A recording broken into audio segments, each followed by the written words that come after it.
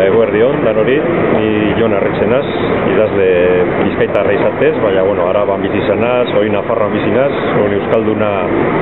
edo nongoa esaleike. Gehien bat, e, bidei literaturi idatzi dut, e, munduan zehar egin ditudan bidaietan oinarrituta, eta horrela, batzutan kronika, batzutan fikzioa, zuek e, atzerrian zabizen Euskaldunok, e, ez dakit, ez dakit bidaia egiten zauzien, edo